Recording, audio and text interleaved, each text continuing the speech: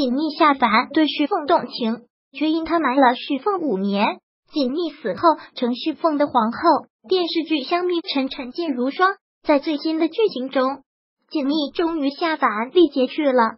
但是在原著中，锦觅下凡历劫却是在番外篇的红尘劫。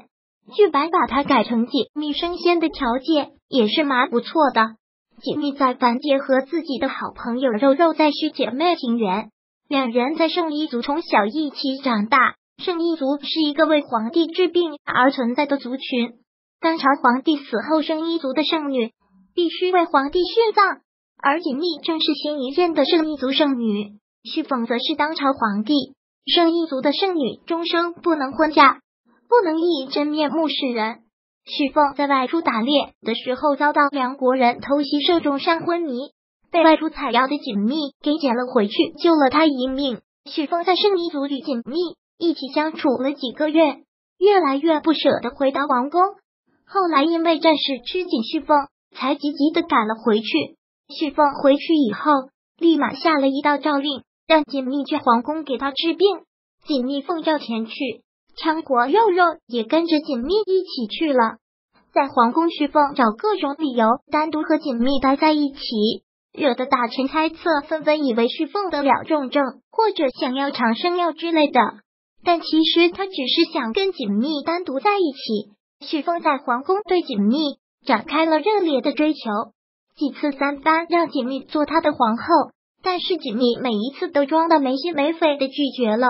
而大臣那边又憋得紧，让他尽快选妃子。许凤只想要锦觅，于是立下约定：一天不统一天下，一天就不设立后宫。因此，许凤的宏图大志就这样传开了。许凤征战了五年，锦觅就在皇宫待了五年。锦觅做了凡人之后，有一个开挂技能，从小到大都能看见神仙。润玉经常下凡与锦觅相会。有一次，锦觅对润玉说。他不知道他爱不爱旭凤，但是为他殉葬，他心甘情愿。这番话无意间被门外的徐凤听了去。旭凤小心翼翼的问他是不是真的。锦觅知道自己已经时日无多，也不再麻他承认是真的。于是旭凤帝恩提出让锦觅做他的皇后。这一次锦觅终于答应了。为什么说锦觅时日无多了呢？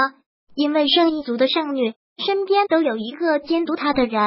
而锦觅身边的那个人就是羌活。锦觅一旦做出有损圣一族清誉的事情，羌活就要神不知鬼不觉的让他死去。在进宫后一个月，羌活就察觉到了锦觅对徐凤动了情，于是羌活便开始对锦觅下无色无味的毒药。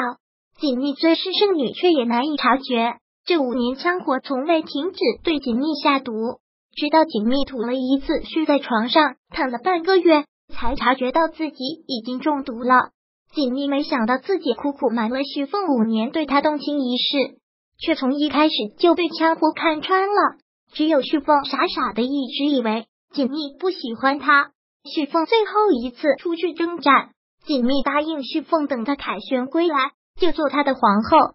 临走前，锦觅隔着面纱第一次亲吻了旭凤，也是最后一次。旭凤走后，锦觅毒发越发严重。强胡看见好朋友受苦，终是不忍，打算放他走。但锦觅不想走，因为他答应了他要在这里等旭凤回来做他的皇后。在旭凤凯旋归来城中敲响的那一刻，锦觅离开了人世。他终归还是对旭凤食言了。旭凤回来看见锦觅冷冰冰的尸体，哭得撕心裂肺。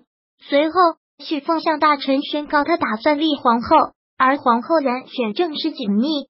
大臣们议论纷纷，旭凤一排众议，昭告天下要和锦觅冥婚。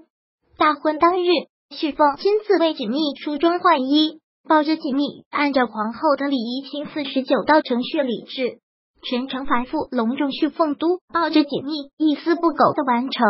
礼成后，旭凤没有抱着锦觅上辇车，而是直奔皇陵。皇陵里面红绸锦帐，红烛摇曳，一个帝陵正殿却被布置成了婚房。旭凤喝了自己和锦觅的交杯酒后，接着胸口一闷，有絮子从嘴角溢出。